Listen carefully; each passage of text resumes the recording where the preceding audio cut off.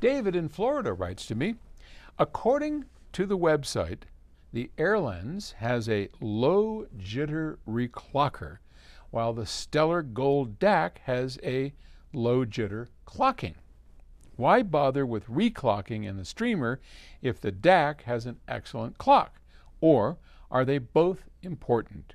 And do clocks matter to both PCM and DSD? Thank you. All right, well, simple on the last one. Yeah, absolutely. Timing in a digital circuit is critical. You can't reclock too many times to get it right. So part of the question here is why do we bother? Let's start with the AirLens. So the AirLens is our streamer and it takes signals in from a network, whether the network is local or somewhere out there like Tidal or Qobuz or whatever. We stream in audio over the internet or over your local area network and we take in all of that, including all the noise and all the crap that comes in from that digital signal, and we pass it over to the output stage through what we call galvanic isolation, which is meaning that there is no physical connection between the input of all this digital data and the output of this the circuit output circuit. So it jumps across the air and we don't have any connections to ground, two separate power supplies, et cetera, et cetera.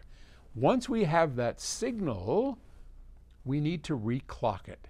Why? Well, because for a number of reasons, when it comes in, we can't rely on the input clocking of this thing. We need to reclock it in order to get it and make sure that it is jitter free and steady. So it goes into a buffer, we reclock it, and it outputs a perfect signal. All right, now we have our perfect signal. Now we're going to put that into a DAC. And in this case, he's talking about our Stellar Gold DAC. We put it into the DAC, and it reclocks it as well. So, yeah, um, what we're trying to do there is take this perfect signal from the AirLens, goes into our DAC, and we don't know how it got in there. I mean, we do, but I don't have any control over what you're doing.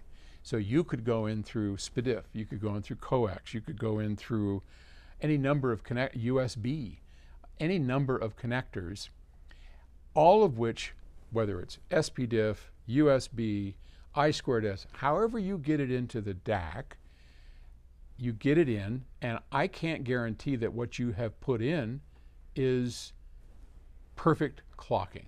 Can't do it because I don't know what you're putting in. You could be putting in a $39 Target CD player, or you could be putting in a beautiful AirLens. I don't know as the manufacturer. I must assume that you're going to put in something not so great. Therefore, I must ensure, if I'm going to make a DAC, that no kidding, no matter what you put in, it's going to sound great I need to make sure that it will sound great. And therefore, I need to take it, reorganize it, and reclock it just as I did in the AirLens because that's the only way I can guarantee that you're going to get great sound out of that DAC. Okay? Hope that helps. Thanks.